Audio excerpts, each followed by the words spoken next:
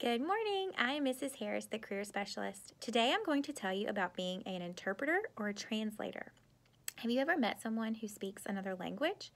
Maybe you have a classmate who speaks Spanish and is learning to speak English. A translator is someone who converts the written word from one language to another. An interpreter, on the other hand, is someone who translates orally or through sign language interpretation. Although translators typically need a bachelor's degree, the most important requirement is that they be fluent in English and at least one other language.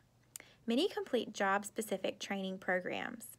The goal of a translator is to have people read the translation as if it were the original.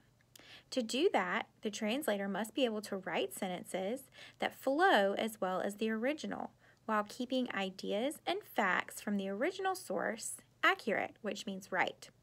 They must consider any cultural references, including slang and other expressions that do not translate literally.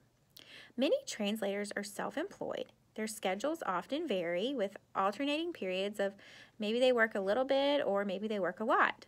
Still, most work full-time with regular business hours. Did you know that one out of every five Americans speaks a language other than English at home? That's more than 50 million people who speak Spanish, Chinese, French, German, Russian, or some other language. So imagine the growing need for people who can translate and interpret between English and these languages. Many businesses and government agencies have an urgent need for translators to help them communicate with their customers. Wow, that's a pretty exciting career. I hope you enjoyed this week's report and I hope you have a wonderful day. Now back to your anchors.